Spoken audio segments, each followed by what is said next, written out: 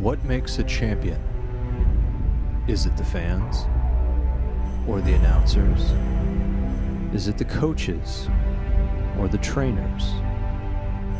Maybe it's the cameras and the commercials or having your name stitched on the back of your jersey. What makes a champion?